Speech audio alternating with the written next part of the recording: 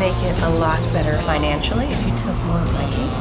With your recovery record, they're as good as bad. It's tempting, but I've lost a step. I'm gonna stick to the white collar grabs. What do you think, nine iron? Definitely iron. We got a big problem. Alright, this isn't just some small case about frat boys going wild. The man you saw, he's a bounty killer. Apparently he's after your brother and his friends. And how is it that you know so much about him? He trained me.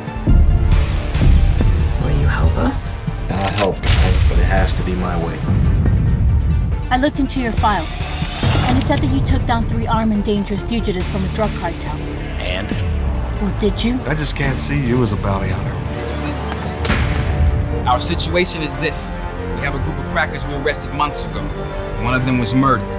We need to locate the rest of them for questioning. We've lost a member. Cheers to our fallen brother. Find them all now and bring me my software codes. Time is running out. Those that are against us will suffer soon once I have unleashed the greatest virus in history.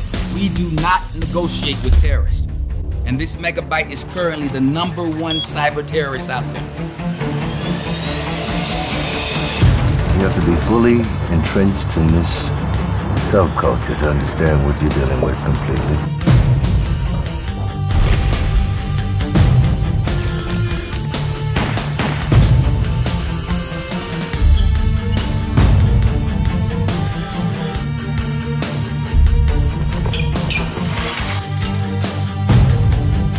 This is now our world. The world of bytes, computers, switches, routers, the internet. We do not play by your rules. Did I mention I hate bounty hunters?